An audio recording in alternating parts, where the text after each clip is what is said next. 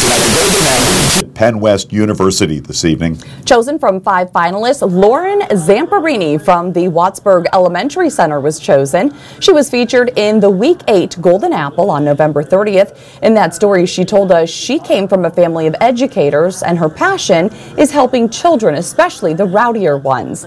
Tonight's Master of Ceremonies, Lou Baxter, asked her what advice she would give to any students who think they might want to go into the teaching profession.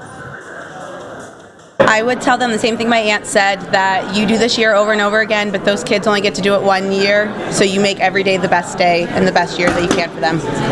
There will be hard days, but you can do it.